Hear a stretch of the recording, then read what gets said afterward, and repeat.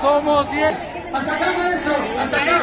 No vamos a caer en provocaciones. Al gobierno del Estado siempre comenta de esta manera para eh, que nosotros nos embarquemos en una lucha agresiva. Nosotros somos maestros y lo que planeamos es- fue una lucha pacífica. Nuestras demandas son justas. Aquí los señores policías